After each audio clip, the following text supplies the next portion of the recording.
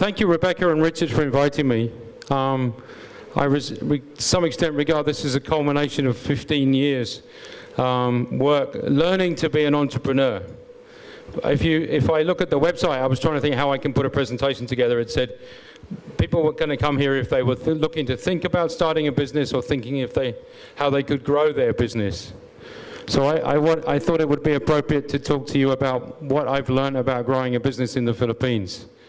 So I'm from the UK, and I'll explain a bit about my history in a minute, but that's why this presentation is called The Entrepreneurship Journey of an English chemist in the Philippines. Now, this journey would not have been complete without my wife, Kathy, so I'm going to embarrass her by asking her to stand up this time, because it's very relevant to this conversation. This is my wife, Kathy. So I would regard Kathy and I very similar to Richard and Rebecca. We complement each other very well. Let's see if I can get this thing to work. Okay, so I'm going to give you an overview of the Nurture story. For those of you that don't know, we run a place in Tagaytay, called Nurture Wellness Village. I'm going to talk about my story here in the Philippines, entrepreneurship and what it means to me, and also learnings to share because, as I'll explain to you, I never expected to be an entrepreneur, and I've had to study it effectively from the beginning as to how to run a business, and also some conclusions. So first of all, I'd like to tell you about the Nurture Wellness Village story.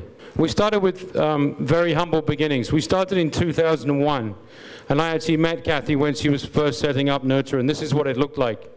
You can see um, it really was still in the process of being constructed. And in 2001, we had four employees, and we were stretched over 1,800 square meters of land at the very back of Tagaytay, almost in Amadeo where the coffee is very good, Gary. So now we, we're an, an, a nurture wellness village, we're an ecotourism, cultural and wellness destination with four pillars, based on four pillars. That is, we are proudly Filipino, which was quite unique when we set it up in 2001. Everyone, everybody wanted to be Thai or Indonesian. We are proudly Filipino. We're very much into health, health and wellness. We believe in inclusive growth. We're in a very small barangay in, in, in the back of Tagaytay. Most of our employees, which I'll talk about in a minute, live within a kilometer of Nurture Wellness Village, and we're also into sustainability. As of 2018, we have 150 employees. We're over 1.5 hectares, and we stretch over two barangays. And we are we're uh, pleased to say that we've been TripAdvisor um, winner of Certificate of Excellence since 2014. At the moment, we're number one hotel on TripAdvisor in Tagaytay against hotels, I'm not going to mention my competition, but some very su substantial other players in Tagaytay. We're into ecotherapy, massage. We have our own signature restaurant called Gabriela. Gabriela was a very famous woman in the Philippines. Uh, she fought the Spanish.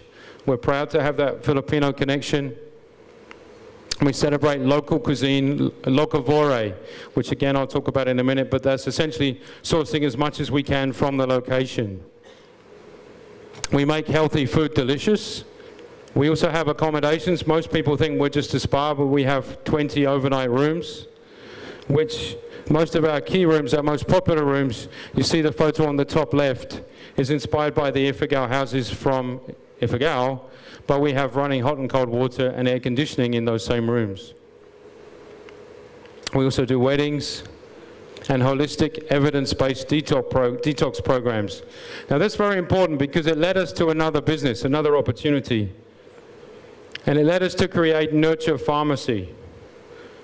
Um, and the idea being that we would grow our own vegetables and our own fruit um, so we could guarantee their quality, but we'd also educate people in how and what fruits and what plants they could, could eat and, and seek as actually medicine. And this is food as medicine using old wisdom from way back in Philippine times. And also, we actually wanted to create an opportunity where people could live in that farm and interact and have uh, explore family ties. So we created a campsite in, in the farm called Camp Nurture. And that's really what we've been managed, I managed to achieve in the last 15 years between Kathy and I and now 150 employees in, in the Philippines, in Tagaytay.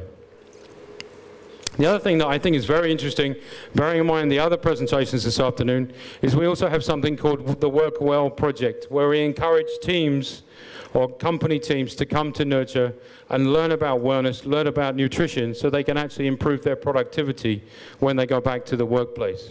Over the last 15 years, that's what we've been able to achieve. But to be honest, I never expected to have anything of that sort of life or that sort of business. I'm 52 years old and I actually joined Unilever in 1992 as a management trainee in the UK. The photo on the right is a photo of my father. Obviously, the Kathy is the photo on the left. But my father worked for the same company for 46 years. My mother came from, she met my mother, he met my mother in that company, my aunt worked for that company, my father and my grandfather worked for that company as well. So I never had an expectation that I would become an entrepreneur. And the conversation over lunch and over breakfast was not about business. I think Jerry's story is wonderful that he would have a mentor that he, he grew the ice business from his five, since he was five years old. I moved to the Philippines in 2001 with Unilever, but I met Kathy. I was very lucky. I met Kathy the third day I was here and decided I didn't want to leave. Unilever insisted that I had to move to Singapore, so I left to stay in the Philippines. I was an expat. I was earning what I would consider a lot of money, and I gave it up to stay in the Philippines. All of my, thank you, ma'am. All of my colleagues thought I was crazy. I freely admit, all of my colleagues thought I was crazy in 2001. I met one of them last year who was now my customer. He told me that, he, that they thought I was mad, but he congratulated me on the progress that I had done since then. And I believe that's in many ways down to the people in the Philippines and the opportunities that are available in the Philippines. So that is my message to any foreigner considering investing in the Philippines. As I mentioned, we met, I met Kathy the third day I was here. We opened Nurture in May 2002. I left Unilever in 2004. We got married, best decision I ever made, in 2005. And this is very significant for me. I felt I didn't know enough about how to run a business, so I did a master's in entrepreneurship in 2010 in Ateneo. So I'm an Atenean. I don't know, I'm not going to, let's not get into LaSalle and UP, but I'm very proud to be an Atenean, okay? But as I've said to you several times, I never expected to run my, my run my own business. So what I want to share with you is what I've learned along the way. I now, now know most of you have run your own businesses, but I'm hoping at least something I'm going to say in the next 10 minutes may jog your memory or maybe give you some learning which you can use in your business. So here goes. What I've learned along the way entrepreneurship or running your own business is a mixture of self mastery, i.e., you need to know about yourself, enterprise mastery, you, know, you need to know how to run a business and situation mastery. Your business does not operate in a vacuum. You need to know what's going on outside that business. So I'm going to go through each one of these. And I'm not just going what I tried to do is I'm not just going to tell you this, I'm actually going to show you some things that maybe you, how you can learn more about yourself or the opportunities. So here we go. Self-mastery. Let's, do you know yourself? Do you know what you're good at or you're not good at? Because if you're good at something, you'll probably do more of it. If you're not good at it, you probably shy away from it. But if you're running a business, you have to find someone else that's going to be able to do the things you're not good at. Do you have the, mind, the right mindset to be an entrepreneur? Do you have the habits of a successful person? And do you have a high adversity, adversity quotient? Living in the Philippines is great, but so many things happen typhoons, volcanoes, whatever. But one of the things I've seen about Filipinos is they're incredibly resilient, far more than people like myself or people come from the West. You're so much more resilient, and we can learn so much from you. So, how are you going to learn more about yourself? Now, I can't go into the details of this, but what I recommend you do, it's absolutely free. You can learn more about yourself using Myers-Briggs, and you can download this off the internet. I'd encourage you to do that because it will. Just, there's 16 different personality types in the in the world, and you'll find out which one you are, and you'll understand more about how you interact with other people. It's a free personality test. The web the website link is there. Also, there's something amazing called Ned Herrmann, which talks about four different brain uh, quadrants. Ned Herrmann did a study of entrepreneurs and he found that only 3% of the population have what they call a complete brain in terms of thinking. Most people have one dominant quadrant. But the best entrepreneurs like Richard Branson, they had four quadrants that were in perfect harmony. So if you can build, if you can study this and find out where you're weak and do something to address one of those quadrants where you're weakest, you can frankly become a better entrepreneur. The other thing is, do you behave like a successful person? Do you have the habits of a successful person? And for the best suggestion I've seen of this is something called The Miracle Morning by Hal Elrod.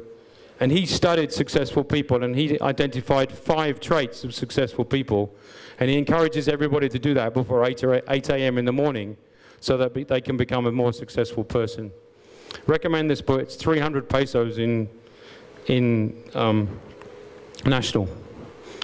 The other thing is, the, the, thing that reminds me more about self-mastery is Rich Dad Poor Dad. I wasn't a big fan of Rich Dad Poor Dad because this guy lined himself up with Donald Trump.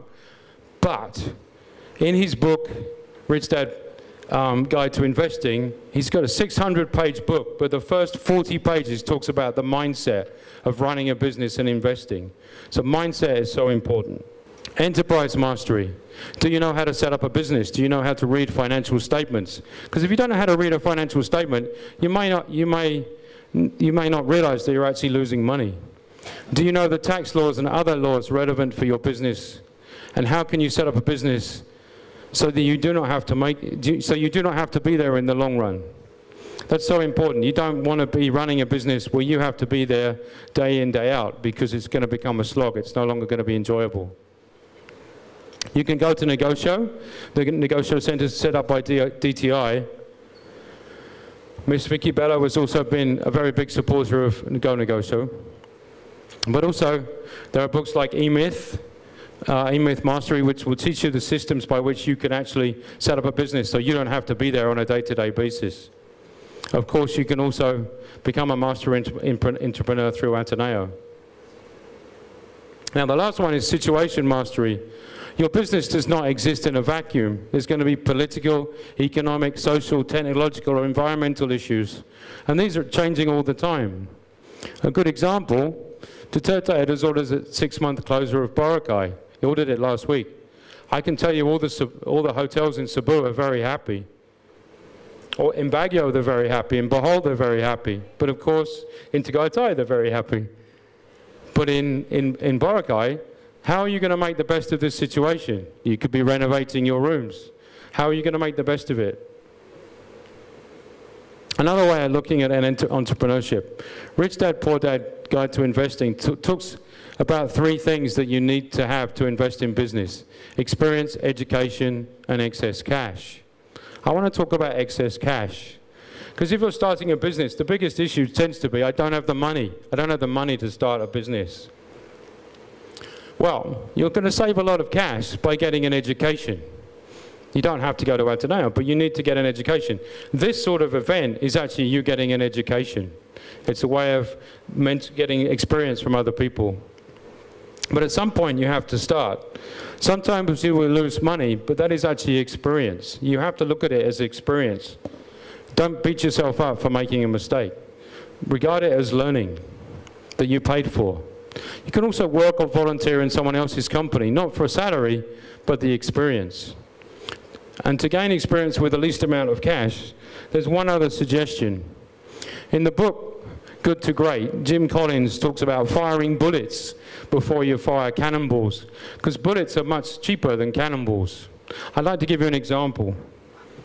When we set up the tents in Nurture, the campsite, we started on the left for one year and proved our concept. The total investment was 300,000 pesos. Once we proved the concept, we did the thing on the right, which cost us 2 million pesos. So fire bullets before you fire cannonballs. I hope I've given you some ideas of how to start or grow a business. The journey never ends. I have a wonderful example of this. If I, have already embarrassed my wife, I'm going to do it again. This was Kathy last month, March 25, 2018. She took a diploma in culinary arts and graduated. uh, with a professional academy for culinary education because we wanted to get better at running our restaurant. And there's nothing better than knowing your business yourself. So it never stops. It never stops. If you stop, you're going to die. So measures of success. I, I, mean, we talked about profit of being a measure of success, and Jerry talked about this. I'd like to give you some ideas, other measures of success. This is um, Manang Lina. We call her Manang Lina. She's a widow with five children. Atalina used to clear grass for a living. She literally just spent every week just cutting grass in, in Amadeo in Tagaytay. And she didn't see people very often. She's now a farm guide, farm guide in our Nurture Pharmacy. She appeared on radio with uh, Miss Corrie, and people were asking her whether she had a book, whether she'd like to write a book with all her knowledge about um, medicine from plants. This is Reggie. Reggie used to be a balut vendor outside Nurture when we started, but now he's actually our head of housekeeping, team leader. And I think the best one is Sally. She's, she actually started with us as a massage therapist in 2001. She still works for us now. Um, her savings enabled her to build a five-door apartment from which she earns extra income. So actually now she's a real estate person. She has a five-door apartment. So that's the power of inclusive growth and industry in the Philippines. I'd like to say thank you very much, and we'd very much like to welcome you to Nurture and into Tagaytay in the future. Thank you very much.